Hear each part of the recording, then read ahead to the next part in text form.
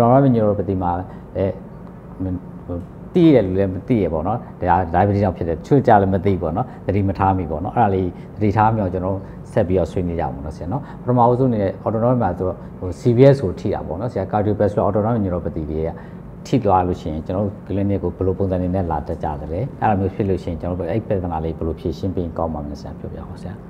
ဆရာကျေးဇူးပါအဲ့တော့ဆရာဒါကလည်းအရေးကြီးတဲ့ချက်ထောက်ပြသွားတာပေါ့နော်ဟုတ်ကဲ့ဆို perfect neuropathy တွေကတော့ဆရာကပိန်းရမယ်နပ်နဲ့ရမယ်သတိမထားမင်းခြေထောက်ဖြတ်ရတယ်ဟုတ်ကဲ့ဆရာသို့တော့ချိန်ထဲမှာရင် diabetes neuropathy မှာ autonomic nervous system ထိတယ်ဟုတ်ကဲ့ပါကျွန်တော်တို့ဆရာတို့သိတဲ့အတိုင်း parasympathetic ထိတယ် sympathetic လည်းထိတယ် both နှစ်ပြိုးသလုံးလည်းထိတယ်ဟုတ်ကဲ့ဆရာထိတဲ့အခါမှာနေရာအများကြီးကိုထိတဲ့အတွက်ကြောင့် autonomic neuropathy ကမျိုးစုံလာနိုင်တယ်ဟုတ်ကဲ့မျိုးစုံလာရင်တော့ဆရာတို့ကျွန်တော်ဒီ slide မှာပြထားဆို နော် cardiac autonomic neuropathy ဆိုတာရှိဟုတ်ကဲ့ဆရာအဲ့ဒါက resting tachycardia နဲ့လာလူနာတယောက်ကကျွန်တော်တို့ကကြောင်းပါကြောင်းမှမသိပဲနဲ့တက္ကီကားရရရင်ကျွန်တော်တို့အများဆုံးကတော့ cardiac cause ကိုလိုက်ရှာတာပေါ့နော် cardiac cause တွေ arrhythmia ကိုလိုက်ရှာတယ်ဘာမှရှာမတွေ့ဘူးဆိုရင် diabetic peripheral neuropathy မှာ thyroid တွေလည်း exclude လုပ်ပြီးသွားပြီကြားတွေလည်းကုန် exclude ဘာမှရှာမတွေ့ဘူးဆိုဆရာတို့တတိထားမှာဒါ resting tachycardia ဒီ cardiac autonomic neuropathy ဖြစ်နိုင်တယ်တတိထားမှာကျွန်တော်ကလုံးနေဆိုရင် thyroid တွေကတော့သွားပြီးမှန်ပါတယ်ဆရာတတိထားမိတယ်အဲ့ဒါတွေတော့အရင် exclude လုပ်မှာလုပ်ပြီးသွားလို့မှမတွေ့တော့ဘူးဆိုဒါဖြစ်နိုင်ဒါဖြစ်နေဟုတ်ကဲ့ပါဆရာနံပါတ်1ကသူက orthostatic hypotension ပေါ့သူအိတ်နေသိပြဿနာမရှိဘူးရုပ်တရက်ထားလိုက်မိုက်ကနေမူလဲသွားပြီ pressure ထိုးကြအောင်ဟာဟာ posture hypotension posture hypotension ပေါ့အဲ့ဒါကဆရာ line standing မှာဘယ်လောက်กว่าလဲဆို systolic မှာ20กว่าမယ်ဒါ systolic မှာ10กว่าရင်ဒါ orthostatic hypotension ရှိအဲ့တော့ဆရာဘလို့တန်ရရှိတယ်ဆိုဆရာဘာလုပ်ရမလဲအဲ့ရမှာတစ်ခါတိုင်းမယ်ထိုင်ရမှာမတက်ရက်တယ်ပြီးတော့ standing position မှာ1 minute ပေါ့1 minute မတက်ရက်ရက်ပြီးတော့မှဆရာကျွန်တော်တိုင်းကြည့် ဟုတ်ကဲ့တိုင်း systolic blood pressure more than 20 20 diastolic pressure more than 10ကျော်ရင်တော့ဆရာအဲ့ဒါ orthostatic hypotension ရနိုင်တယ်အဲ့ဒါကိုသတိထားမှဖြစ်ပါတယ် and then ကျွန်တော် orthostatic tachycardia တွေ bradycardia တွေရပ်တတ်တယ်ဆိုတော့အဲ့ cardiac autonomic neuropathy က mortality များတယ် တခါလေးမှာ hypoglycemia unawareness နဲ့လာတယ်ဒီကြောင့်ဒါကြောင့်မို့သူတို့တခါလေးက sudden death syndrome in the bed လို့ပြောကြတယ်လူနာတွေအိပ်ရတယ်ဝင်သွားတယ်ဘာမှမသိဘဲနဲ့မနေ့ကျရင်ဆုံးသွားတယ်ဟုတ်ကဲ့နော်အဲ့ဒါဒီ cardiac cause ကြောင့်ဖြစ်နိုင်တယ်လို့ဒီခုနပြောတဲ့ autonomic neuropathy cardiac autonomic neuropathy ဒါတွေဖြစ်နိုင်တယ်ဒါကိုအများကြီးသတိထားမှာဖြစ်ပါတယ်ဆိုတော့ဒါကတော့ဆရာခုနပြောတဲ့ cardiac autonomic neuropathy နဲ့ပတ်သက်လို့ပေါ့နော် mortality rate က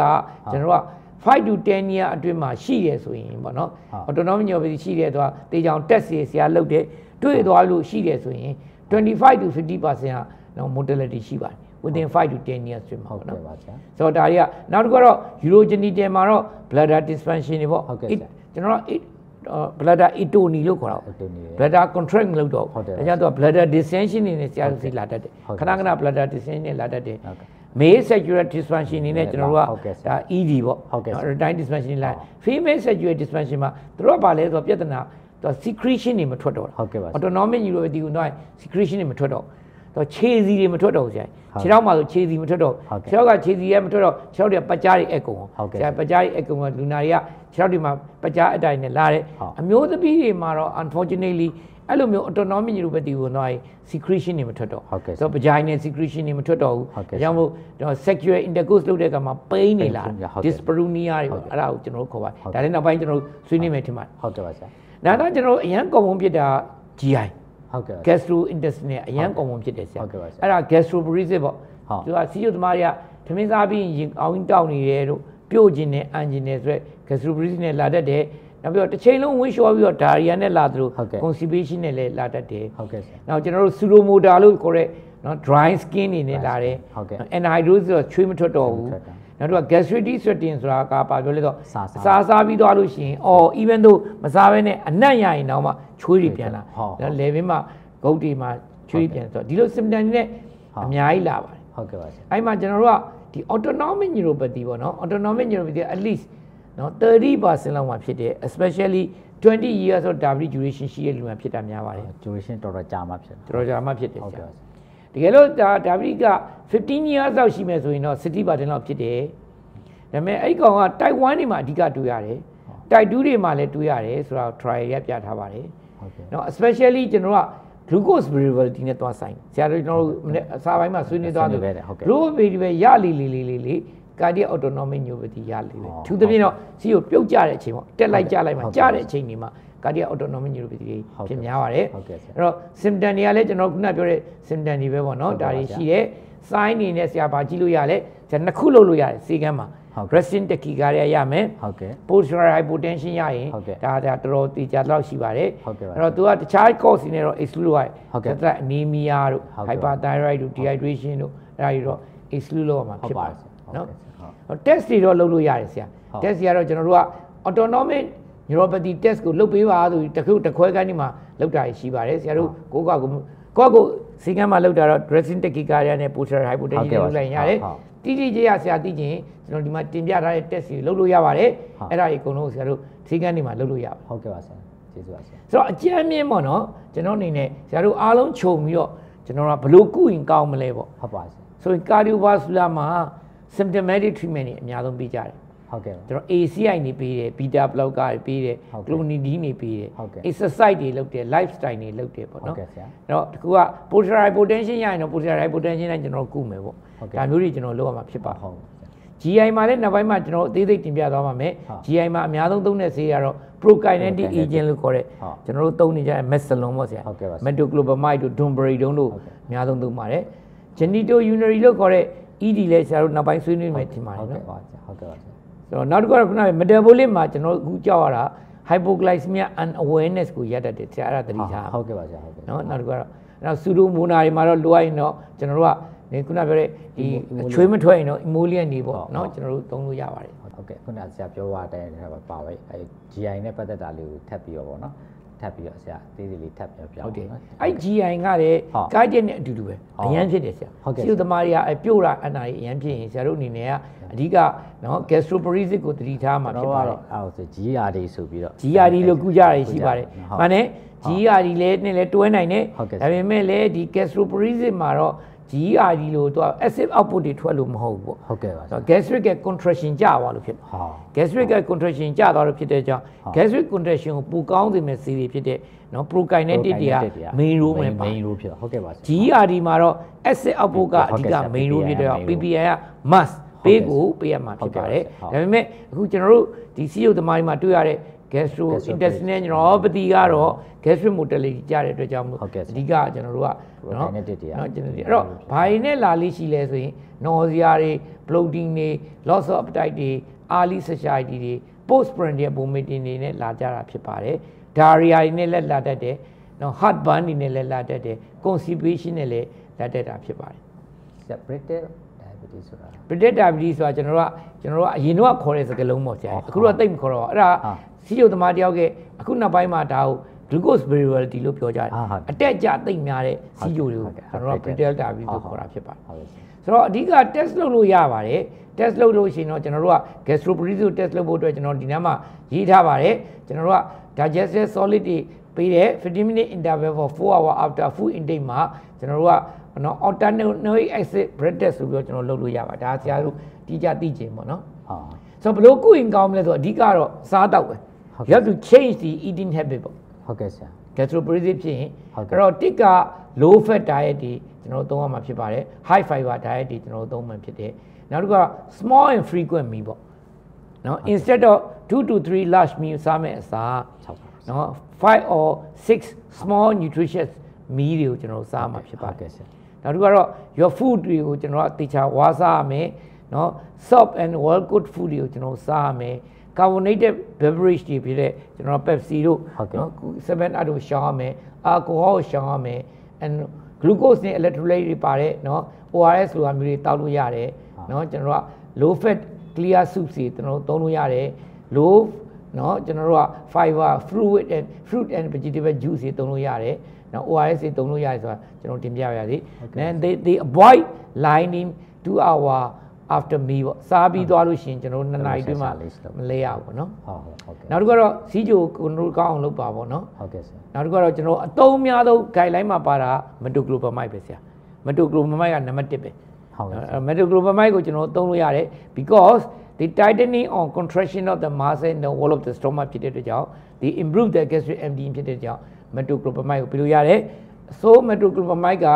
nausea vomiting နဲ့တက်တာစီဟုတ်ကဲ့ဆရာနောက်တစ်ခုကအဲ့ဒါနဲ့မသက်တာရင် erythromycin ဆိုတာကျွန်တော်တို့ပေးပါတယ်ဒီကောတင်နော် erythromycin အဲ့ဒါကိုသူတို့က antibiotic နဲ့သုံးတာမဟုတ်ဘူး they can increase the stomach muscle contraction ရသေးတယ် they improve the gastric emptying ဖြစ်တယ်ဒါကြောင့်မလို့ကျွန်တော် erythromycin ကျွန်တော်သုံးတယ်ကျတော့ blood dose နဲ့အဲ့ဒါလေးကျွန်တော်နောက်မှတင်ပြပါမယ်ဟုတ်ပါပြီ next ကတော့ကျွန်တော်တိတ်လို့လာရင် anti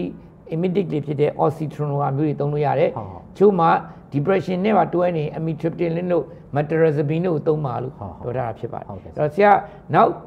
နော်ဒီမှာ gastroparesis ကိုဘယ်လိုကုမလဲဆိုရင်တော့ဆရာတို့ ਨੇ ဓာရက်ကိုတေချာ modify လုပ်မယ်ဟုတ်ကဲ့ဆရာဟုတ်ပြီးရင် metoclopramide ကို5 to 10 mg ကိုကျွန်တော်က BD or TDS တော့ကျွန်တော်ပေးကြည့်မယ်ဟုတ်ကဲ့ဆရာ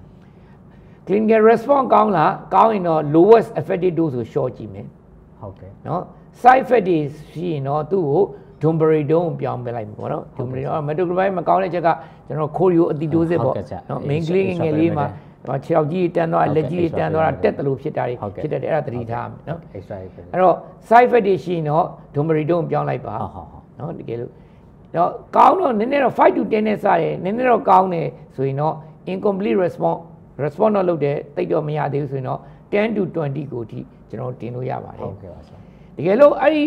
metoclopramide တွေ dumperidone တွေပေးတာတော့မရဘူး symptom တွေကသိုးနေသေးရင်တော့ diet ကိုပြန်ပြီးတော့ကျွန်တော်တို့ re-evaluation လုပ်မယ် nutrition နဲ့ support တွေသုံးမယ် short course of erythromycin 250 to 500 mg ကို DDS ကိုကျွန်တော်တို့က1 to 3 month လောက်ထိပေးလို့ရတယ်ဆိုတာ1 to 3 gastroparesis treatment ပါဆရာဟုတ်ကဲ့ဟုတ်ကဲ့ဆရာဟုတ်ကဲ့အဲ့တော့အခု GM ပြီးသွားပြီကာဒီရက်လည်းပြီးသွားပြီဆရာနောက်တစ်ခုခုနက ကျွန်တော်ပြောသွားတဲ့အချိန်မှာအသေးစိတ်လေးထပ်ပြောစီချင်တာကတော့ဟို Eurogenitin နဲ့ခုနကပြောတဲ့ဟိုမေးဟိုနေပေါ့ ED လို့ပါလေအဲ့ဒါလေးလည်းနည်းဆက်လိုက်ကြအောင်နော်ဆရာနော်ဟုတ်ပါပြီပြည့်စုံဆရာကတော့ဟုတ်ကဲ့ urogenital ပေါ့နော်ဟုတ် urogenital မှာ main ကြီးကတော့ကျွန်တော်တို့ကပါလဲဆိုတော့ bladder dysfunction တွေရတယ်ဟုတ်တယ်နော်ဆရာတော့ frequency တွေဟုတ် urgency တွေ nocturia တွေ hesitancy တွေ weak stream တွေ dribbling တွေ urinary incontinence urinary Incontinence retention လည်းတော်တော်တွေ့ရ ဖြစ်တယ်ဆရာ ဟုတ် ဖြ ကဲ့ စ်တယ် ဆရာ အဲ့ဒါ bladder dysfunction ရ ဟုတ် သူကတော့ bladder atony နဲ့ရပြီးတော့เนาะ bladder atony ဟုတ် ရ ကဲ့ ပြီးတော့တခါမှာ तू ကပါလဲဆိုတော့ bladder dysfunction တွေခဏခဏရလုံးအကြည့်ရင်တော့ ခေါ်ခေါ်နေကြ neurogenic bladder neurogenic bladder ပေါ့ဆရာရဲ့အဲ့ဒါကြောင့် ဟုတ်ဟုတ် အဲ့ဒါဆို contraction ကိုတော့မရှိတော့တာ ဟုတ်ကဲ့ဆရာ parasympathetic sympathetic တွေက bladder ရဲ့ contraction control လုပ်ထားတာ ဟုတ်တယ်ဆရာ ဆိုတော့အဲ့ nerve တွေထိသွားလို့ neurogenic bladder ရရင်တော့အကောင်းဆုံးကတော့သူက intermittent ကျွန်တော်တို့ကဘာလဲဆိုလို့ရှိရင်ကျွန်တော်တို့က နော် catheterization လို့ခေါ်တာပေါ့ဟုတ်သူတို့ပဲကျွန်တော်တို့က bladder dissection ရလာရင်နော်ကျွန်တော် bladder control လုပ်တဲ့ဆေးတော့ပေးကြတယ်ဆရာဟုတ်ကဲ့ metamlosin လိုအမျိုးကြီးကျွန်တော်တို့သုံးကြည့်တယ်ဟုတ်ဟုတ်နော် oxypass လို့ခေါ်တဲ့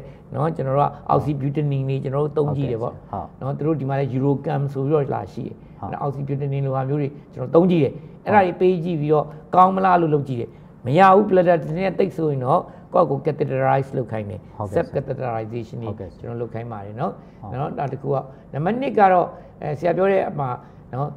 male sexual dysfunction တွေရတယ်အဲ့ဒါ erectile dysfunction တွေ abnormal ejaculation တွေ decreased libido တွေရတတ်တယ်ဟုတ် female မှာကျတော့ဟုတ်ကဲ့ decreased sexual desire ပေါ့ Desire ဟုတ်အဲ့ဒါကြီးဖြစ်တတ်တယ်တွေ့ရဆရာ pain ကို during intercourse မှာရတတ်တယ်ခုနပြောတဲ့ secretion တွေမ dry ထွက်တဲ့အတွက်ကြောင့် skin dry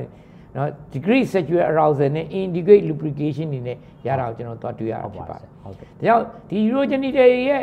sex function ပေါ့နော်ကျွန်တော်ကပေါင်းခေါ်လိုက်တော့ဟုတ်ကဲ့ sexual dysfunction နဲ့ bladder dysfunction လည်းတော်တော် common ဖြစ်တာကိုဟုတ်တယ်ကျွန်တော်တွေ့ရပါတယ်ဟုတ်ကဲ့ဆရာအဲ့တော့အဲ့မှာကျွန်တော်တို့အနေနဲ့က male နေမှာလည်းကျွန်တော်က ED တွေအများများတယ် retrograde ejaculation တွေများတယ်ဟုတ် female တွေမှာလည်းဆရာကခုနပြောသလို sexual dysfunction တွေက များတယ်ဒါပတိသမားတွေမှာပိုဖြစ်တယ်ဟုတ်ကဲ့ဆရာဒါကြောင့်လို့ဒီလိုလူမျိုးတွေကိုတော့ screening လုပ်ရမယ် multi factorially ကုရမယ်ဟုတ်ကဲ့ပါဆရာကုတဲ့အခါမှာဆရာတို့ hypertension တွေ yes hypertension တွေ lipid တွေ obesity တွေ smoking တွေနော်အဲ့ဒါတွေလည်းအဓိကတည်း psychogenically လည်းဆရာတို့ကုရမှာဖြစ်ပါတယ် counseling လုပ်ပေးရမှာတို့ဟုတ်ကဲ့ဆိုတော့အကြမ်းပြင်းတော့ကျွန်တော်တို့က genital unitio နော်ပြောလိုက်ရင် bladder distension ရရင်တော့ကောင်းတာတော့ urinary catheterization ကကောင်းတယ်ပေါ့နော်အဲ့မတိုင်မျိုးကျွန်တော်က contraction ရသေးတဲ့ series ဟုတ်ကဲ့ကျွန်တော်သုံးကြပါတယ် overactive bladder တဲ့သုံးတဲ့ Eucol-2 oxybutynin တို့ eucol 2တို့အဲ့ဒါကျွန်တော်သုံးကြဟုတ်ကဲ့နော် retrograde ejaculation ရှိရင်တော့ antihistamine တွေသုံးတယ် ED ရရင်တော့ sildenafil နဲ့တတာဒါတွေကိုကျွန်တော်နောက်အသေးစိတ်လေးဟုတ်ကဲ့ပြန်ပြောပြဟုတ်ကဲ့ dyspnea ပေါ့အမျိုးသမီးတွေမှာ dyspnea ရရင်တော့ lubricant တွေ estrogen cream တွေသုံးလို့ရပါတယ်ဟုတ်ကဲ့ sexual desire ကြတာတော့ကျွန်တော်နိုင်ငံမှာတော့မရှိသေးဘူးဟုတ်ကဲ့အများနိုင်ငံမှာတော့ female baragra ဆိုပြီးတော့စီးရီပေါ်နေပါတယ်ဟုတ်ကဲ့ပါဆရာဟုတ်ကဲ့ပါဆရာဟုတ် ဆိုတော့အဲ့ဒါနဲ့ပတ်သက်လို့ဟုတ်နော်ကျွန်တော် ED ပေါ့ဟုတ်ကဲ့ဟုတ်နော်ဆရာလည်း ED ဟုကိုတ်ကဲ့မိထားတာဟုတ်ကဲ့နော်ဟုတ် ED ကဲ့ပါတို့ဒီမှာကျွန်တော်အများဆုံးကျွန်တော်တို့ ED ပေါ့ဟုတ်ကဲ့ဆိုတော့ ED က very much common ဟုတ်ကဲ့ပါတခုတတိထားမှာ ED ရဲ့ most of the most common cause က anxiety ပဲဆရာဟုတ်တယ်နော်ဆရာတော့80%လောက်က anxiety ကြောင့်ဖြစ်တာဟုတ်ကဲ့ဒါကြောင့် anxiety ကိုဆရာတို့အဓိကအနေနဲ့ performance anxiety လို့ခေါ်တော့သူကနဲ့သူက ED ကအဲ ငါကဖြစ်ပါမလား3မိနစ်မမပေါ့ဆရာ3မိနစ်မမပေါ့တော့မမလို့3မိနစ်အတွင်းမှာဖြစ်သွားရင်မနဲ့လုံးမလဲပေါ့နော်အဲ့ဒါဆိုရင်ဒီက anxiety ပေါ့သူကသူ့မျိုးသမီးရဲ့ဒီနေကညငါ3မိနစ်မမဖြစ်ရင်ကောင်းမလားအဲ့ဒါဆိုရင်ဘယ်လိုလုပ်မလဲပေါ့ I cannot satisfy my wife ပေါ့အဲ့ဒါမျိုး anxiety ဖြစ်လေလေလေလေ importance ကရလေလေပဲနော်နောက်တစ်ခုကတော့အလုပ်အရမ်းများတဲ့လူတွေပေါ့ နော် stress တွေတအားများလူကအလုပ်ဘက်မှာအာယုံသိမ့်ဆိုင်နေ ED ရရောက်လဲအရမ်းများတယ်ဆရာဟုတ်ကဲ့ဆရာဒါကြောင့်မလို့ကျွန်တော်တို့ကဆရာ ED ကိုကျွန်တော်တို့ကအဓိကတကယ် ED လားပေါ့ true ED လားပေါ့နော် true ED လား psychologically ဆိုရင်တော့ psycho ကူလိုက်ရုံပဲဖြစ်တယ်တကယ် true ED မှာဆိုရင်တော့ကျွန်တော်တို့က treat the and identify and treat the any curable cause of ED ပေါ့ဝါတဲ့လူတွေမှာ ED ပို့ဖြစ်တယ်ဟုတ်ကဲ့နော် အခေါ်တောက်တဲ့လူမှာပို့ဖြစ်တယ်လေစိတ်တောက်တဲ့လူမှာပို့ဖြစ်တယ်လေ့ကျင်ငန်းတဲ့လူတွေမှာပို့ဖြစ်တယ်အဲ့ဒါတွေကကျွန်တော်တို့က treatable cause တွေအဲ့ဒါတွေကိုဆရာတို့ treat လုပ်မှာဖြစ်ပါတယ်ဒါကြောင့်မလို့ lifestyle change and risk factor modification အများကြီးလိုအပ်ပါတယ်ဟုတ်ကဲ့ပါဆရာ patient ကိုလည်းစိတ်တက်မကြဘူး educate လုပ်ရမှာဖြစ်ပါတယ်ဟုတ်ကဲ့ counseling လုပ်တဲ့အခါမှာအမျိုးသားတွေမကအမျိုးသမီးပါခေါ်ပြီးတော့ဟုတ်တယ်နော်နားလည်မှုရှိအောင် both partner ကိုကျွန်တော်တို့ကခေါ်ပြီးတော့ကျွန်တော်တို့ကနားလည်မှုဒီ ED ကိုပြန်တက်ပတ်သက်လို့ဆွေးနွေးရမှာဖြစ်ပါတယ်ဟုတ်ကဲ့ပါဆရာဆိုတော့ ED တွေဆေးတွေကိုမပေးခင်မှာ ဆရာတို့အနေနဲ့နော် rational ပေါ့နော်အဓိက investigation တချို့တွေလုပ်ရတယ် exclude လုပ်ရတယ်တချို့ဆေးတွေက IHG ပြီးရင်ပေးလို့မရဒါကြောင့် rule out ဒီ cardiac disease တွေပေါ့ဟုတ်နောက်ပြီးတော့ partner ကိုအဓိကဆွဲခေါ်မှာဖြစ်ပါတယ်ဟုတ်ကဲ့ဆရာဒါကြောင့်မလို့ကျွန်တော်တို့ before starting treatment တွေမစခင်မှာ reversible cause ဖြစ်တဲ့ hypogonadism ပေါ့ချို့ကြတော့တကယ် true hypogonadism ကြောင့်ဖြစ်တာ testosterone နည်းသွားလို့ဖြစ်တာဟုတ်ကဲ့ဆရာအဲ့လိုလူမျိုးတွေဆိုရင်တော့ hypogonadism မှာ testosterone therapy ကပါမှာဖြစ်ပါတယ်ဟုတ်ဟုတ် DM ကိုကုပါ psychiatric illness ကိုကုပါ cardiac evaluation တွေလုပ်ပါ cardiac treatment တွေရှိရင်သိပ်ပေးလို့မရပါဘူး non pharmacological အနေနဲ့ pelvic flow exercise တွေ lifestyle တွေအများကြီးလုပ်ဖို့အတွက်တိုက်တွန်းပြရစီပေါ့နော်ဟုတ်ကဲ့ပါဆရာခင်ဗျာအဲ့တော့ management မှာတော့ကျွန်တော်တို့ဒီမှာ busy slide လေးပြထားပါတယ်ဆရာတို့အနေနဲ့အဲ့မှာ lifestyle လုပ်မယ်ပြီးရင် treatment တွေပေးတာမှာ treatment တွေမှာကျွန်တော်တို့ကဘာတွေပေးလို့ရလဲဆိုတော့အ ဓိကကျွန်တော်တို့အခုသုံးနေရတော့နော် PDE ပေါ့နော် PD ပေါ့ phosphodiesterase 5 inhibitor လို့ခေါ်တဲ့အများစုသုံးနေတဲ့ sildenafil တွေ dralafil တွေကနံပါတ်1ပါပဲအဲ့ဒါနဲ့ပဲအဓိကကူတာဖြစ်ပါတယ်ဟုတ်ကဲ့ဆရာဒါနဲ့မှမရတော့မှသာလင်ကျွန်တော်ကနောက်တစ်ဆင့်အနေနဲ့သုံးနိုင်တဲ့နော်ညာမှာ intra cavanosa injection တွေရှိပါတယ်ဟုတ်ကဲ့ vegan နဲ့ device တွေရှိပါတယ်ဟုတ်ကဲ့ဆရာနော် topical ကျွန်တော် or intra urethral မှာ prostate ဆိုတာကျွန်တော်အဲ့ထဲကိုထိုးထည့်တာရှိပါတယ်ဟုတ်ကဲ့ဆရာဟုတ် and then ကျွန်တော်တို့ကနောက်ပိုင်းမှာကျွန်တော်တို့ကမလုံးဝမရရင်တော့ prosthetic ထည့်တာရှိပါတယ်ဟုတ်ကဲ့ပါဆိုတော့ဒီလို method တွေအများကြီးသုံးပါတယ်ဟုတ်ကဲ့ပါဆရာခင်ဗျာအဲ့တော့နောက်ပိုင်းမှာတော့နော်ကူရီကူရီမှာတော့မတိကြသေးတာတော့ stem cell therapy တွေ predatorship plasma therapy တွေတချို့ aesthetic တွေမှာပေးကြတာတွေ့ပါတယ် harvest and natural supplement တွေနဲ့ arginine တွေပါတယ်စီတွေရှိပါဟုတ်တယ်ကဲ့ပါဆရာဆိုတော့ကျွန်တော်တို့အနေနဲ့ဘလို့အသုံးသင့်ပါလဲဆိုတော့အဓိကဆရာတို့သုံးရမှာနော် long acting tadalafil သုံးမလားဟုတ်တယ်ဆရာ short acting sildenafil သုံးမလားဟုတ်ကဲ့အဲ့ဒါကျွန်တော်တို့သွားပါတယ်ဟုတ်ကဲ့ဆရာဆိုတော့ usually တော့ကျွန်တော် short acting နဲ့စတယ်သူတို့ကိုကျွန်တော်တို့ဗာလဲဆိုတော့ဒီ sildenafil ကိုသုံးခိုင်းတယ်ဟုတ်ကဲ့ sildenafil ကိုသုံးခိုင်းတယ်အဲ sildenafil ကိုသုံးခိုင်းတဲ့အခါမှာပြဿနာတစ်ခုရှိတယ်ဘလို့ပြဿနာတစ်ခုရှိလဲဆိုတော့ဒီ sildenafil ကနော်ကျွန်တော်တို့ကဒီ penis မှာရှိတဲ့နော် smooth muscle ကို dilate လုပ်လိုက် ဟုတ်ကဲ့ dilate smooth muscle relax လုပ်လိုက် ဟုတ် dilate အဲ့လို dilate လုပ်လိုက်ရင်ဒီ penis တဲ့ကိုသွားတဲ့ penis blood flow က vaso dilatation ရလာ ဟုတ်ကဲ့ဆရာ အဲ့ဒါကျေသွားမယ် ဟုတ် ကျေသွားလို့ရှိရင် तू က erection လာမယ် ဟုတ် ပြီးတာနဲ့ तू က erection ဖြစ်တာနဲ့ဒီ penis က rim မှာ sphincter လေးရှိရယ် sphincter ကိုလည်း तू က contract လုပ်လိုက်ရ ဟုတ်ကဲ့ အဲ့တော့မှ तू က erection က तू maintain ဖြစ်တာ maintain ဖြစ်ဟုတ်ကဲ့ဆရာ ဆိုတော့အဓိက तू ကအဲ့ဒါအတွက်ပဲပြီးတာ ဟုတ် ဒါပေမဲ့ပြဿနာက ဟုတ် ကျွန်တော်တို့က ED ကိုရှင်းရရင်လူတစ်ယောက်က erection လာဖို့အတွက်က ဟုတ် ဆရာ စိတ်ဆန္ဒရှိရတယ် desire ရှိရ Desire ရှိဟုတ် brain ကနေပြီးတော့ desire ရှိရဟုတ်ကဲ့ဆရာအဲ့တော့ကျွန်တော်ကအဲအဲအမျိုးသမီးနဲ့တွေ့ရင်အတူနေခြင်းနဲ့စိတ်ပေါ်ရမယ်ဟုတ်ပါနော်ကောင်မလေးတယောက်နဲ့တွေ့ရင်ဟာလှတယ်ဆိုရင်အတူနေခြင်းနဲ့စိတ်တွေပေါ်တယ်တချို့ဆိုရင်ဟာတကယ်ဆရာဝန်ချင်းချင်းပုံဝင်လင်းလင်းပြောအောင်ပေါင်းကားတွေကြီးလိုက်လို့ရှိရင် erection တွေလာတယ်ဟာအဲ့ဒါပေါင်းကား stimulate လုပ်တာဟာနော်ပေါင်းကားတွေကြီးရဲ့အပြာကားတွေကြီးလိုက်ရင် ခေါင်းကိုသွား stimulate လုပ်လိုက်ဟုတ်ကဲ့ဆရာအဲဆိုတော့ငါနေခြင်းနဲ့ဆိုတော့ desire ရှိရဟုတ်ကဲ့ဆရာအဲ့လို desire ရှိတော့မှအဲ့ desire က nerve တရားနဲ့စဉ်အောက်ကိုဆင်းချဆသွားင်းချသွားပြီဆင်းချသွားပြီးတော့မှ testic ကနေပြီးတော့ testosterone ဆိုတာထုတ်ပြီးဟုတ်ကဲ့ဆရာ testosterone ထုတ်ပြီးဒီ testosterone ကနေပြီးတော့လေပို့ပြီးတော့ဆန္ဒရှိအောင်နေလုပ်တယ်ဟုတ်လုပ်ပြီးတဲ့အခါမှာတခါ तू ကဘာထွက်ထွက်လဲတော့ arginine ဆိုရက် ဟုတ်ကဲ့ เนาะကျွန်တော်တို့က ဟုတ် arginine ဆိုတာကျွန်တော်ထွက်တယ် ဟုတ်ကဲ့ဆရာ အဲ့ arginine တွေနဲ့เนาะကျွန်တော်က vasodilation တွေရတယ် ဟုတ်ကဲ့ เนาะအဲ့လို arginine တွေက cyclic AMP တို့ GMP တို့နဲ့ကျွန်တော်တို့က PDE တွေထွက်လာ ဟုတ် အဲ့ PDE ကိုเนาะထွက်လေလေလေဘယ်သူ constriction ရလေလေပဲအဲ့တော့ကျွန်တော်တို့ကဒီခုနစိတ်ဆန္ဒရှိမှ ဟုတ်ကဲ့ဆရာ ကျွန်တော်တို့ကပါလဲဆိုရင်ခုနပြောတဲ့เนาะ arginine တွေထွက်တယ် ဟုတ်ကဲ့ PDE တွေထွက်လာ ဟုတ်ကဲ့ ဒီ PDE တွေကိုရှိဖို့လိုတယ် PDE ကျတော့ PDE ကို ကျွန်တော်ကျွန်တော် convert လုပ်လိုက်တဲ့ enzyme ရှိတယ်ဟုတ်ကဲ့အဲ့ enzyme ကိုကျွန်တော်ကလုပ်လိုက် PD တွေမရှိတော့ရင်ဘီဇိုဒါလေးချက်မရှိဘူးဟုတ်ကဲ့ဒါကြောင့် PDA inhibitor တွေကျွန်တော်ပေးကြဖြစ်တယ်ဟုတ်ကဲ့ဆရာဒါကြောင့် sildenafil ကိုကျွန်တော်ပေးမပေးခင်မှာသူက desire ရှိရဟုတ်ကဲ့ဆရာဆရာ desire မရှိဘဲနဲ့မရအောင်ဒါကြောင့်ကျွန်တော်တို့ကဘာပြောလဲဆိုတော့တချို့ကအဲကျွန်တော်က1 hour before နော် sex drug မှာကျွန်တော်တောက်ပါလို့ပြောလိုက်တယ်ဟုတ်ကဲ့အဲကျွန်တော် sex ကို တောက်လိုက်တယ်တောက်ပြီးတော့1 hour မဆောင်ဘဲနဲ့ဘုံတိုင်းကွမ်းဆိုလုပ်ပလိုက်ဟုတ်တယ်အဲ့ဒါမရအဲ့ဒီမှာပေါ့အဲ့ဒါမရတော့ဒီကသူ့ရဲ့ action က serotonin ရဲ့အဓိက action ကဘာလဲသူကဘာလဲ vasodilation ပဲလုပ်ပေးရအရင်မှာအရင်တော့ stimulation ဖက်ရ stimulation ဖက်ဖို့အတွက် what you have to do က you have to Foreplay with the ကျွန်တော်ကနော်ဖက်တာတို့ပွေတာတို့နမ်းတာတို့ kissing တို့အဲ့ဒါအရင်လက်အရင်လောက်ရတယ်ဆရာ Foreplay လားအရင်လောက်တော့မှသူက stimulation တွေရတော့မှဟုတ်ကဲ့ကျွန်တော်က arginine တွေ PDE တွေထွက်လာမှာထွက်ဖြစ်တယ်ဟုတ်ကဲ့အဲ့တော့မှ ကျွန်တော်တို့ကဆေးကိုပေးတော့မှ action လာမှာဖြစ်တယ်ဟုတ်ကဲ့ဒါကြောင့်မလို့နော်ကျွန်တော်တို့ကစီရနဖေးတောက်ပြီးတော့အစင်မပြေဘူးဆိုတဲ့လူတွေကတောက်ပုံတောက်နေမှားနေလို့ပါဟုတ်ကဲ့ one hour before မှာတောက်အောင်ပါမယ် before that မှာ you have to go for ကျွန်တော်တို့က sexual desire တက်အောင်ကျွန်တော်တို့က four play တွေ Foreplay လုပ်ရတာဟုတ်ကဲ့ရှိပါတယ်ဆိုတော့အဲ့မှာပို့တီပြီးတော့ကျွန်တော်က ED သမားတွေမှာကျွန်တော်တို့ကနော်တချို့ကအဲ့ short eating လောက်နဲ့စ ဟုတ်ကဲ့ short eating နဲ့ဘယ်လိုမှအဆင်ပြေရင် long eating တွေကျွန်တော်သုံးကြ ဟုတ်ကဲ့ဆရာ long eating တွေမှာကျွန်တော်တို့ပါလဲဆိုတော့ tarala phase ဆိုတဲ့စီရှိတယ် ဟုတ်ကဲ့ဆရာ ကျွန်တော်ကျွန်တော်တို့နေ study တခုရှိတယ်တရာလာဖေးကိုလိုရင်လိုသလိုပေးတဲ့เนาะအတူနေကန်ဒီမှာသုံးရင်ရသလားပေါ့ ဟုတ်ကဲ့ เนาะဒါအော်တရာတေးကို daily ပေးရင်မကောင်းလား ဟုတ် ဆို ကဲ့ regime ရှိပါ ဟုတ် နောက်ပိုင်းမှာကျွန်တော်တို့က ဘယ်လို့မှ short eating နဲ့မရဘူး PRN dose နဲ့မရတဲ့လူတွေမှာကျွန်တော်တို့ဘာလုပ်လဲ daily ပေးတယ် daily ဟုတ် daily ပေး daily ပေးတဲ့အခါမှာ long eating ဖြစ်တဲ့တရာလာဖေးကိုကျွန်တော်ပေးလို့ရပါတယ်ပေးရတယ်ဟုတ်အဲ့တော့ကဲ့ daily အနေနဲ့ကျွန်တော်က long eating တရာလာဖေးကို5 to 10 mg လောက်ကျွန်တော်တို့ပေးကြပါ daily ပေးတယ်ပေါ့ဟုတ်ကဲ့ဆရာနော်နောက်တော့အတူနေတဲ့နေကြလို့ရှိရင်တော့စရနဖေးကိုကျွန်တော်တို့သုံးတယ်ပေါ့ဟုတ်ကဲ့ဆရာဆိုတော့ဘယ်လိုမျိုးပေးရင်ကောင်းမလဲဆိုတော့ခုနပြောတော့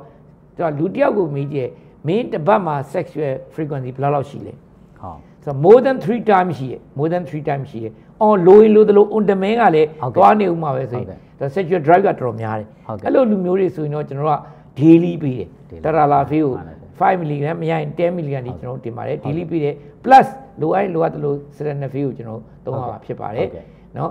အဲ lesson 2 2 time မှာ week ပဲเนาะ lesson 2 time မှာ2ရဲ့ပုံမှန်မဲ့တပတ်တော့တပတ်ကို2ရက်တဲ့တူပုံမနေဘူးဆိုလို့ရှိရင်တော့ you don't need the long acting one long short acting, acting short cylinder fuel ပဲသုံးလို့ရတယ်ဟုတ်ဒါပေမဲ့ तू ကတပတ်ကတော့နှစ်ခါပဲဒါပေမဲ့လိုရင်လိုသလိုလည်းပြည့်ပြည့်သွားမှာပဲဆိုရင်တော့ तू စိတ်မကြဟုတ်ဘူးကဲ့အဲ့လိုလူမျိုးဆိုရင်တော့ Maintenance daily dose plus maintenance dose တွေသွားမယ်ဆိုတော့ဟုတ်ကျွန်တော်တင်ပြပြရစီပေါ့ဟုတ်ကဲ့ပါဆရာအဲ့တော့ ED ရဲ့အဓိက treatment တွေကိုလည်းကျွန်တော်တို့ကခုနပြောသလိုဒတလာဖေးတွေပေးတယ်ကျွန်တော်တို့ကစရနဖေးတွေပေးတယ်ပေါ့နော်အာအာဂျင်းနေတုံးတယ်နောက်ပိုင်းမှာ harvey တွေလည်းတော်တော်များထွက်ကြပါတယ်နော် harvey လည်းကျွန်တော်သုံးကြပါတယ် အာဂျင်နင်းရဲ့ရိုးရှင်နော်ဆရာအာဂျင်းနေလည်း row ရှိပါတယ်ကျွန်တော်တွဲပေးပါတယ်ဆရာဟုတ်ကဲ့နော်ဟုတ်နောက်တစ်ခုကတော့ဆရာခုနမေးတဲ့ထဲမှာပါလေအမျိုးသမီးတွေအတွက်အမျိုးသမီးတွေဆိုတော့ခုနပြောအမျိုးသမီးတွေမှာလည်းခုနကျွန်တော်ပြောတယ်ပေါ့နော်အမျိုးသမီးတွေမှာတော်တော်ပါသွားပါပြီကျွန်တော်တို့ကခုနပြောတဲ့ဟုတ်အဓိက lubrication တွေကျွန်တော်တို့သုံးရမှာဖြစ်ပါတယ် estrogen drive ကိုပြန်ကောင်းအောင်သုံးရမှာဖြစ်ပါတယ် desire နဲတာတော့ဒီဇိုင်းနေတာကတော့ဒီဇိုင်းနေတာကတော့မျိုးဒီသားအဲ့ဒါနည်းနည်းမျိုးခက်တယ်အဲ့ဒါ psychological လည်းပါတယ်အဲ့အဒါလုံးများကြီးလည်းပါကြောင့်ဟုတ်ကဲ့ psycho behavior therapy ကအရေးကြီးတယ်ဟုတ်ကဲ့ပါအဲ့ဒါကိုကျွန်တော်တို့ပြောမှဖြစ်တယ်ဟုတ်ကဲ့ plus လိုအပ်ရင်လိုအပ်တယ်လို့စေးပေါ့အဲ့စေးကကျွန်တော်မှမရှိသေးဘူးဟုတ်ပါဆရာ thank you ပါဆရာဟုတ်အဲ့တော့အခုတော်တော်လေးတော်တော်လေးပြောလာပါဆရာဒါပေမဲ့နောက်ဆုံးအနေနဲ့လေးကရှင်းပြနေပြောရမယ့်အချက်လေးတစ်ချက်က not the least ပေါ့နော် the last not the least อ่ะကျွန်တော်တို့ဟိုပေါ့နော် extremity ဒီမှာ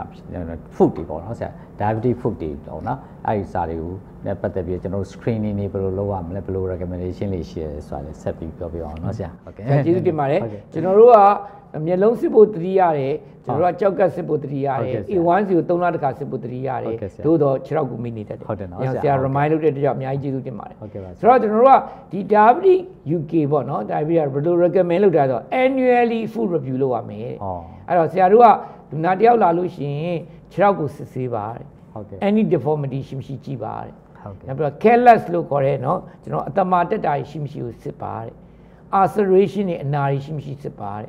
အရင်တော့ခြေထောက်မှာအနာဖြစ်ခဲ့ဘူးလားဆိုတာမေးပါတဲ့ဟုတ်ဖြစ်နိုင်ရင် food ဒီမှာ perpate ဒီ pass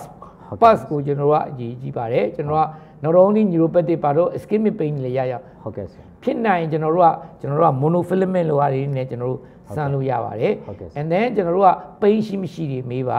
နောက်ပြီးတော့ food wear ပေါ့ရှိက food wear တွေမကောင်းတဲ့အားတွေရှိပါတယ်ကျွန်တော်ခြေထောက်ကဟိုဖနက်ကမတင့်တော်တဲ့ကမှာအရန်ကြက်လွန်းနေအရန်ကိုကျွန်တော်တို့ကနော်ဟိုမြင့်လွန်းတဲ့တောက်ဖနက်တွေရှိရင်လည်း pressure effect တွေရကြအောင်ဒါမျိုးတွေကိုကျွန်တော်တို့လုပ်တင်ပါတယ်လို့ပြောပါတယ်ဟုတ်ကဲ့ဆရာအဲ့တော့အဓိကအနေနဲ့ဆရာတို့အနေနဲ့ဒီဟာတွေကဆရာတို့စီကန်းလဲအောင်ဒါတွေလုပ်ရမှာဖြစ်ပါတယ်ဒီနေ့တခါလဲစစ်ဆေးရမှာဖြစ်ပါတယ်အနည်းဆုံးတော့ပိန်လေးကိုမေးမယ် pass လေးကိုကင်ကျွန်တော်ရပါတယ်ဖြစ်နိုင်ထပ်ပြီးလုပ်ချင်တော့ monofilament နဲ့စမ်းမယ် reflex လေးခောက်ကြည့်ရင်တော့ကျွန်တော်တို့အနေနဲ့ screening and diagnosis ကရပါတယ်ဒါပြီးဒီမှာတော့ပထမဆုံး new patient တော့ဆရာတို့တွေ့တွေ့ချင်းကြည်ပါဟုတ်ကဲ့တကယ်လို့မရှိဘူးဆိုရင်တော့မှနော်6လသမုတ်တစ်နှစ်တစ်ခါလောက်စစ်ဖို့အတွက်ကျွန်တော်တို့ကတိုက်တွန်းပြစီပေါ့နော်ဒါတွေသုံးလို့ရပါတယ်အဲ့တော့ကျွန်တော်တို့က symptom တွေမေးလို့ရတယ်နော် pass တွေကျွန်တော်တို့မေးလို့ရတယ် vibration set တွေရတယ်ပေါ့နော် ဆေးကန်းကိုပို့လို့ခြင်းနေဆိုတော့ကျွန်တော်တို့အစိုးရဆေးဥတွေမှာနော်ဆေးဆေးဆေးနဲ့ဆေးမန္တလေးတွေမှာကျွန်တော်တို့ဘာတွေနဲ့လို့ biothiometer လို့ခေါ်တယ် vibration test လေးကျွန်တော်လုပ်လို့ရတယ်ဟုတ်ကဲ့ဆရာ ankle brachial index ဆိုတာကျွန်တော်လုပ်လို့ရဟုတ်ကဲ့ဆရာအဲ့ ankle brachial index ကိုလုပ်လိုက်လို့1.5ကျော်ရင်တော့၎င်းနော်များလည်းမကောင်း0.9နဲ့အောက်ကျရင်တော့၎င်းအဲ့ဒါမကောင်းအဲ့ဒါဆိုလို့ရှိရင်ကျွန်တော်တို့ကကျွန်တော်ကဘာသွားဆက်လုပ်ရမလဲဆိုလို့ရှိရင်ကျွန်တော်တို့အနေနဲ့ဒီဒီ nerve conduction study တွေကျွန်တော်ဆက်လုပ်ရတယ်ရှိရဲဟုတ်ကဲ့ကျွန်တော် pass ကင်မရလို့ရှိရင်ကျွန်တော်တို့ကဗာလဲဆိုရင် Doppler တွေရိုက်တာရှိတယ်အဲ့ဒါနဲ့ by that way ကျွန်တော်တို့က you can prevent the diabetes neuropathy and diabetes food ပါဆရာဆိုတော့အဲတစ်ဆက်တည်းပေါ့အဲ့လိုနေအဲ့လို case တွေကိုအဲ့လိုမျိုးလုပ်ချင်တယ်ဆိုရင်ဆရာကျွန်တော်ဘယ်ကိုလွှဲရမလဲအော်ကျွန်တော်တို့အစိုးရဆေးရုံတွေလွှဲလို့ရပါတယ်ကျွန်တော်တို့ free ပါကျွန်တော်တို့အကုန်နော်ရန်ကုန်ပြည်သူဆေးရုံကြီးစီယိုနဲ့တူးကျဟော်မုန်းထော်တာကိုလွှဲလို့ရပါတယ် စီတိုက်တို့နှစ်ကကျွန်တော်မြောက်ကလာဆေးုံကြီးကိုကျွန်တော်လွှဲလို့ရပါတယ် free ပါဟုတ်ကဲ့เนาะအပြင်ဘက်မှာတော့ကျွန်တော်မြင်နေ3နေရာလောက်ပဲလုပ်နိုင်သေးတယ်လောလောဆယ်တော့ Granda တို့ Victoria တို့ကျွန်တော်တို့ OSC တို့အဲ့3နေရာမှာပဲအဲ့ set တွေရှိပါတယ်ဟုတ်ကဲ့ပါအာယူကတော့လုပ်တော့မယ်လို့ပြောပါတယ်ဟုတ်ကဲ့ပါ thank you ပါဆရာခင်ဗျဟုတ်ကဲ့ပါအခုဆရာတော်တော်လေးအများကြီးတော့ပြောလာပြီးပါပြီเนาะဆရာအခုနှစ်ချုပ်အနေနဲ့ပေါ့เนาะ summary လေးနေနဲ့ဆရာကျွန်တော်တို့ရဲ့ GPD FPD တွေကိုထပ်ပြီးတော့အထူးမှ မှာကျင်တာလေးများရှိနေဆက်ပြီးတော့ဆရာနဲ့ဆရာနေကိုချုပ်လို့ရမယ်ဆရာအဲ့တော့ဒီနေ့ကျွန်တော်တို့ဆွေးနွေးပွဲလေးကတော်တော်လေးကြာပါတယ်တော်တော်ကြာပြီးတော့ဆရာလည်းအစုံမေးတော့ကျွန်တော်လည်းတက်နိုင်လောက်ပြီးပြီးဆုံးကျွန်တော်တို့ဖြည့်ဖြည့်ချရဖြစ်ပါတယ်ဆရာတို့ဒီနေ့တစ်ချိန်နဲ့မစစဲမကြည့်နိုင်လဲဖြတ်ဖြတ်ကြည့်ပါဦးနော်ဟုတ်ကဲ့ဆရာဆိုတော့ကျွန်တော်မှာကျင်တာကတော့ take home message မှာဒါပြီး neuropathy က common ဖြစ်တယ်ဟုတ်ကဲ့သူ့ကိုမကူဝဲထားရင် mortality ရော morbidity ရောတက်နိုင်တယ်ဟုတ်ကဲ့အဲ့အတွက်ကြောင့်အဓိကအနေနဲ့ကတော့ glycemic management ကို ကောင်းလုပ်ရမယ် A1C ကိုဘယ်ဆေးပေးပြီးကြောက်လုပ်ရမယ် plus glucose variability ကိုကကျွန်တော်တို့ကူရမှာဖြစ်ပါတယ် not only glycemic control but also ကျွန်တော်တို့က cardiovascular risk assessment တွေလုပ်ရမယ် weight ကိုချရမယ် silic ကိုဖြတ်ရမယ်လိုအပ်လို့ရှိရင် lipid တွေပေး anti lipid drugs တွေပေးရမယ် ACI ARB တွေပေးရမယ်အဲလိုင်း aspirin တွေပေးရမယ်ဆိုတော့အခြား factorial ပါပါတယ်ဆိုတာပြောပြစီ။နောက်ကျွန်တော်ဆွေးနွေးပြီးတဲ့အတိုင်း rapid reduction of sugar ဆိုရင်တော့ neuropathy ကိုစိုးစေတယ်။သူကလေဒီဒီဒီ A1C ကိုနော်3လအတွင်းမှာနှစ်တက်ပိုချလိုက်ရင်ရုပ်တရက်ကြီးချလိုက်ရင်စိုးစေတယ်ဆိုတာသတိထားပါ။ early screening and diagnosis ကအရေးကြီးတယ်။ symptomatic treatment အနေနဲ့ကျွန်တော်က pregabalin နေ gabapentin နေ amitriptyline နေ gelocin ဒီလေးခုကကျွန်တော်အသုံးများလို့ကျွန်တော်က remind ပြန်လုပ်တာပါ can be used ပေါ့နော်။ဒါပေမဲ့သူကတော့ symptomatic ပဲဖြစ်တယ်50% pain relief ဖြစ်တယ်ဒါကြောင့်မလို့ကျွန်တော်ဆွေးနွေးခဲ့တယ်လို့ပေါ့ pathogenic treatment တွေကပါလာတယ် lipoic acid တွေ B12 တွေ B1 B6 တွေက role တွေပါလာတယ် especially ကျွန်တော်တို့က negative symptom သမားတွေမှာအဓိကကျွန်တော်ပေးတယ်ပေါင်းပေးကြတယ်ပေးရင်လည်း duration အနေနဲ့12 weeks up to 1 to 2 year တိတောင်ပေးလို့ရတယ် and then autonomic neuropathy ကိုလည်းကျွန်တော်ကျေပြန့်ဆွေးနွေးလို့မမေ့ပါနဲ့ဆိုတာပြောကြရင်လည်းကျွန်တော်ညီကုန်းချုပ်ပြစီဆရာဟုတ်ကဲ့ပါဆရာကျေးဇူးတင်ပါတယ်ဆရာခင်ဗျာဆရာအများကြီးကျေးဇူးတင်ပါတယ်ကျွန်တော်တို့အနေနဲ့ဟုတ်ကဲ့ပါအဲ့တော့ကျွန်တော်တို့အနေနဲ့ ဒီလိုဆွေးနွေးပွဲလေးပေါ့နော်ဟုတ်ကဲ့ပါဆရာဆွေးနွေးပွဲလေးကိုကျွန်တော်တို့နော်ဖြစ်ပေါ်အောင်ဟုတ်ကဲ့နော်တကယ်တမ်းစီစဉ်ဆောင်ရွက်ပေးရပေါ့နော်အဲကျွန်တော်တို့ Zfan Company ကိုလည်းအထူးပဲကျွန်တော်တို့ကျေးဇူးတင်ပါတယ်အဲသူတို့မှလည်းဆေးရရှိပါတယ်အဲသူတို့က pre-cover လေးနဲ့သူတို့ pre-cover လေးနဲ့ကျွန်တော် B12 နဲ့ပေါင်းထားတာတွေသူတို့မှနာဘိုလင်ဆွဲဆေးလည်းရှိပါတယ်သူတို့မှကျွန်တော်အများကြီးသုံးပါတယ်သူတို့ရဲ့နော်နာဘိုလင်နဲ့အများကြီးသုံးပါတယ်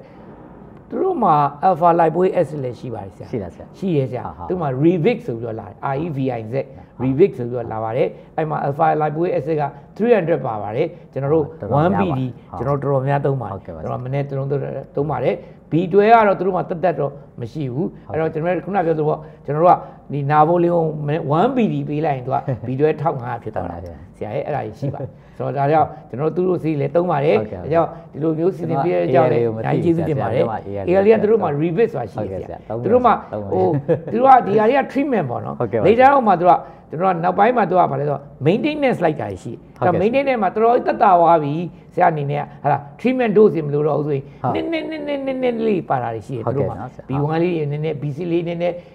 alpha lipoic acid လေးနည်းနည်းအဲ့ဒါ ERDN ဆိုတာရှိအဲ့ ERDN ဆိုတာသူတို့မှာရှိအဲ့ဒါတွေကကျွန်တော်အဲ့ဒါတွေကတော့ကျွန်တော်က maintenance နဲ့ကျွန်တော်သုံးပါတယ်သူတို့စီကျွန်တော်အလွတ်ရပါတယ်နော်ဆရာတို့အဲ့တော့ကျွန်တော်တို့ဒီလိုပဲဆွေးနွေးပွဲလေးပေါ့နော်ကိုရီစီရောင်းရဖို့အဓိကမဟုတ်ပါဘူးကျွန်တော်တို့အနေနဲ့တကယ် ကျွန်တော်တို့ရဲ့ဆရာဝန်တွေရဲ့ CME program ကိုစီစဉ်ဆောင်ရွက်ပြီးတဲ့အတွက်ကြောင့်เนาะကျွန်တော်တို့ကအထူးပဲကျွန်တော်တို့ Ziban company ကိုလည်းကျေးဇူးတင်ရှိပါတယ်ကျွန်တော်ဒေါက်တာဒေါက်ခင်သီနဲ့ team ပေါ့เนาะအကုန်လုံးလည်းကျွန်တော်တို့ကျေးဇူးတင်ရှိပါတယ်လို့ပြောကြရင်းနဲ့ဒီကုန်းချုပ်ပြစီဆရာ